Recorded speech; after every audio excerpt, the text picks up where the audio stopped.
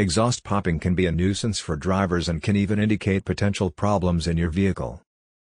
While many assume the cause is a simple backfire, it can also be caused by an overly lean fuel mixture or a faulty spark plug. To solve the issue, try adjusting the air-fuel ratio or replacing any faulty spark plugs. However, one uncommon tip is to check the exhaust system for leaks, as this can also contribute to popping sounds.